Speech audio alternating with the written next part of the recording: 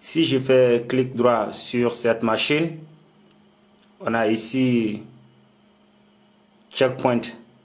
Checkpoint, c'est comme euh, Snapchat dans VMware Workstation. C'est comme Snapchat.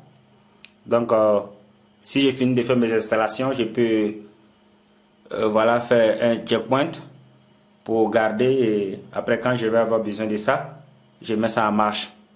Donc ici, je clique dessus, je peux faire export ou bien delete. Dans edit disk, je peux changer l'endroit que j'ai enregistré le virtual. Et dans setting, et dans setting, je peux changer mon hard. Exemple, je viens sur hard drive.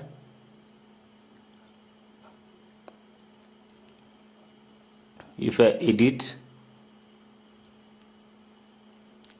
Next. Voilà. Je choisis euh, entre ces trois. Expand euh, a beaucoup de capacités. Voilà. Donc, euh, je peux changer à partir de là. Si je veux aussi démarrer la machine, je fais clic droit et je vais dans Start.